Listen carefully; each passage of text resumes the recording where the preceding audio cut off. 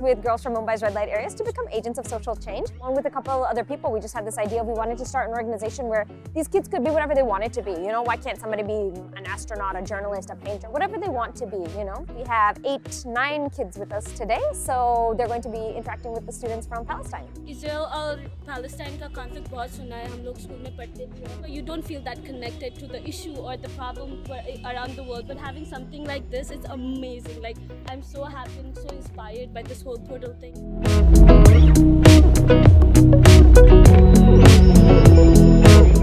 Okay, so we're from an NGO called Kranti, and this means revolution in Hindi, and we work with teenage girls who are from the red light areas. So, like sex workers and their daughters. Does do you guys know what sex workers are? Like often, sometimes people say prostitutes. No. What is it about? Okay.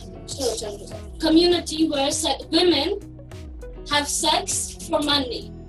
Actually, we don't have this stuff here, so for that reason, we don't know the the words of it. Do you guys talk about sex very openly or no? No. What is what is the biggest problem or issue that you have in your community? Like, what is one thing you would like to change about your community or where you live? It's almost impossible to get out the Gaza Strip. Like traveling yeah. is so hard. How do you fly? Where do you fly out of if you want to fly somewhere? If what airport? Fly? Yeah, if, if we want to fly, we have to go to another country, Jordan or Egypt, in order to use their yeah. airport.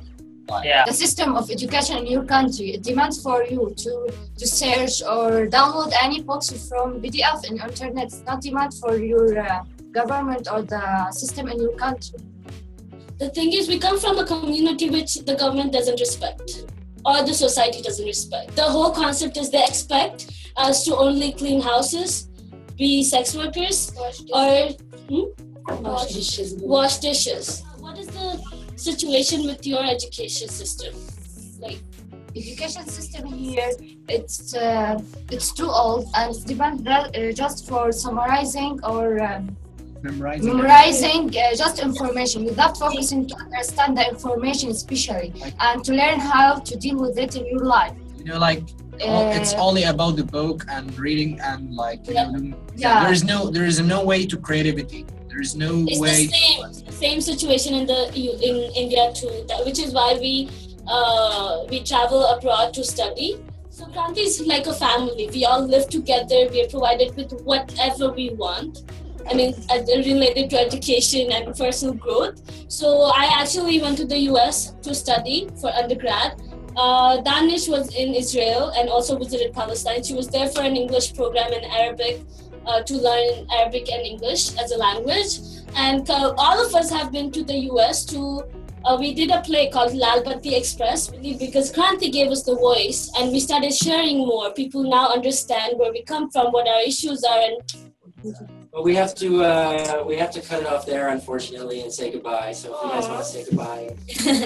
okay, well, hopefully someday maybe you guys will get to travel to India, or we will come travel to Gaza. Who knows? We'll see. Nice to meet you. Cool. Nice to meet all of you. You watch a video, but it doesn't give that personal connection, and like you don't feel like oh it's far away from in a different country. But when you watch, when you have a conversation one on one with someone, just like sitting in one thing uh, basically, so it just makes you makes like it hits something in your heart.